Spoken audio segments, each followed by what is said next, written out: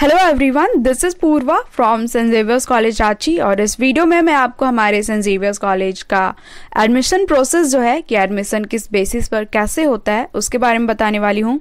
तो मैं आपको बता दूँ कि हमारे कॉलेज में प्लस टू यानी कि इंटरमीडिएट यानी कि टेंथ के बाद जो इलेवन, ट्वेल्व के क्लासेस होते हैं, वो होते हैं, साथ ही यूजी यानी कि ट्वेल्व के बाद अंडर ग्रेजुएट का जो कोर्सेस होता है, वो होता है। देन आफ्टर यूजी पीजी यानी कि पोस्ट ग्रेजुएट के कोर्सेज भी होते हैं। तो पीजी का जो एडमिशन प्रोसेस है, उसके बारे में मैंने ऑलरेडी इंडिविजुअल वीडियो बना दिया है तो आप अगर पीजी में इंटरेस्टेड हो तो आप उसे जाकर देख सकते हो। बाकी इस वीडियो में मैं आपका इंटरमीडिएट और यूजी दोनों को इंक्लूड कर रही हूँ। ओके okay, तो फ़िलहाल मैं आपको एकदम सिंपली कहूँ तो हमारा यूजी और इंटरमीडिएट दोनों में सबसे पहले हमारा एंट्रांस होता है और एंट्रांस अगर आपका निकलता है एंट्रांस का एग्ज़ाम तो उसके बाद आपको हमारे कॉलेज में इंटरव्यू के लिए बुलाया जाता है। और अगर आप एंट्रांस और इंटरव्यू दोनों क्वालिफाई कर जाते हो तो आपका सेंट जेवियर्स कॉलेज में एडमिशन हो जाता है। तो अब इसको मैं थोड़ा विस्तार से आपको बताती हूँ। ये जो मैं आपको अभी बता रही हूँ, ये दोनों यूजी और प्लस टू दोनों के लिए ओके तो सबसे पहले तो हमारे कॉलेज का जो ऑफिशियल वेबसाइट है which is W W W dot S X C R A N dot O R G आपको इसको डेली चेक करना होगा ऑन अ पर्टिकुलर डेट हमारे इस ऑफिशियल साइट पर। जब भी एडमिशन स्टार्ट होता है हमारे कॉलेज का तो इस पर नोटिस आ जाता है। तो नोटिस अगर इंटरमीडिएट वालों का होगा या फिर यूजी वालों का तो नोटिस में ही ये वेरीफाइड होगा कि किस क्लासेस के लिए है ये। तो अगर आप, जिसमें भी एडमिशन लेना चाहते हो तो आप वहाँ पर जाकर अप्लाई नाव पर क्लिक कीजिएगा। अप्लाई नाव पे क्लिक करने के बाद आपको सबसे पहले तो रजिस्टर करना होगा, अपना एक वैलिड फ़ोन नंबर डालकर और उसके थ्रू आप अपना एक पासवर्ड क्रिएट कीजिएगा, जो आपको हमेशा याद रहना चाहिए। रजिस्टर करने के बाद आप फॉर्म फिलअप कर लीजिएगा। फॉर्म फिलअप में आपका बेसिक इन्फो मांगा जाएगा, आपका नेम वगैरह father's name Aadhaar card name वगैरह। इसके बाद अगर आप यूजी में एडमिशन लेना चाहते हो तो आपका टेंथ का मार्कशीट ट्वेल्व का मार्कशीट वगैरह पूछा जाएगा। अगर आप ट्वेल्व में एडमिशन लेना चाहते हो तो टेंथ तक का। अब यहाँ पर इंपॉर्टेंट बात यह है कि जब आप फॉर्म फिल कर रहे होगे तो आपसे आपका सब्जेक्ट पूछा जाएगा कि आप कौन से सब्जेक्ट कौन से डिपार्टमेंट कौन से स्ट्रीम में एडमिशन लेना चाहते हो। तो मानकर चलिए, अगर आप ट्वेल्थ में एडमिशन लेना चाह रहे हो और अभी आपने टेंथ रिसेंटली पास किया है तो आपको अच्छे से आप खुद में पहले सोच लीजिएगा कि आप कौन से स्ट्रीम में जाना चाहते हो। वहाँ पर आपसे पूछा जाएगा you want to opt for the arts science और कॉमर्स उसके बाद आर्ट्स में भी चुनने के बाद आपसे सब्जेक्ट्स पूछे जाएँगे कि वेदर आप एडिशनल सब्जेक्ट रखना चाहते हो या फिर नहीं। उसके बाद साइंस में भी आपका पीसीएम बायो को लेकर ऐसा हो जाएगा। तो आप खुद में पहले एक बार आ, अच्छे से विचार कर लीजिएगा कि आप कौन से स्ट्रीम के लिए जाना चाहते हो। क्योंकि आई गेस यस ऑफकोर्स इसमें क्योंकि आपको बाद में स्ट्रीम चेंज करने का मौका नहीं दिया जाएगा। हाँ लेकिन अगर आप जेवियर में एडमिशन लेना चाह लेते हो, उसके बाद फिर अगर आप मान के चलो साइंस में हो तो अगर आप फेल वगैरह करते हो तो बाद में आपको कॉमर्स में डाल दिया जाता है। कॉमर्स वालों को आर्ट्स में डाल दिया जाता है एंड आर्ट्स वालों के लिए डायरेक्ट कॉलेज से गेट आउट हो जाता है। ओके तो इसके बाद सेम आपका यूजी के लिए भी होता है कि टेंथ अगर आपने ट्वेल्थ पास किया हो और आप यूजी में एडमिशन लेना चाह रहे हो तो आपको एक पर्टिकुलर सब्जेक्ट चूज़ करना होता है कि आप अपने ऑनर्स पेपर के लिए कौन सा पेपर चूज़ करना चाह रहे हो। जैसे कि आपने आर्ट्स में जो भी पाँच पेपर्स पढ़े थे, आपको उनमें से कोई एक चूज़ करना रहता है, जैसे कि आपको हिस्ट्री सोशियोलॉजी पॉलिटिकल साइंस ये सब में से कोई एक ऑनर्स पेपर चूज़ करना रहता है। तो यही सारे आपको फॉर्म्स में फिल करने हैं। इसके बाद आपका रेसिडेंशियल कास्ट सर्टिफिकेट मैं आपको बता दूँ कि हमारे जेवियर कॉलेज में रिजर्वेशन सिस्टम भी है, जिसमें हमारे एससी और एसटी लोग को प्रायोरिटीज़ मिलती हैं। एंड बी टू और जनरल वालों का कुछ खास ये जो गैपिंग्स होता है, वो नहीं होता, बस एक दो मार्क्स से वो लोग को भी रिजर्वेशन मिलता है। तो यहाँ पर आप, अगर आप अपना कास्ट जो भी डाल रहे हो तो ध्यान रखिएगा कि आपका उसके उससे रिलेटेड आपका जो कास्ट सर्टिफिकेट है, आपके पास मौजूद होना चाहिए।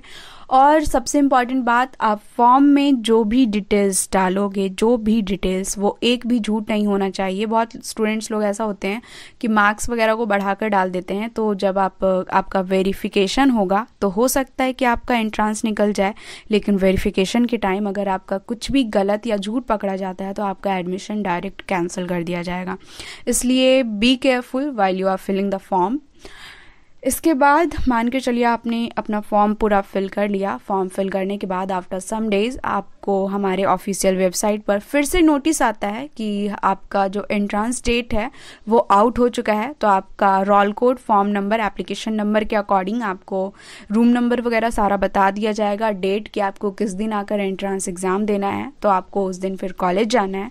कॉलेज जाकर आपको एंट्रांस एग्ज़ाम देना है। अब आप सोच रहे होगे कि एंट्रांस में कैसे क्वेश्चन आएँगे तो हमारी कॉलेज के जितने भी डिपार्टमेंट सब्जेक्ट हैं मेरे इस वीडियो आ, मेरे इस चैनल पर इन सभी सब्जेक्ट्स को लेकर वीडियोस अवेलेबल हैं कि आपको कौन से सब्जेक्ट के लिए कैसे पढ़ाई करनी है क्या क्या पढ़ाई करनी है कौन से पेपर्स हैं यूनिफॉर्म क्या है टाइमिंग क्या है सब पर वीडियो बना हुआ है तो आप मेरे चैनल पर जाकर आप चेक कर सकते हो आप जिस भी सब्जेक्ट को लेकर इंटरेस्टेड हो।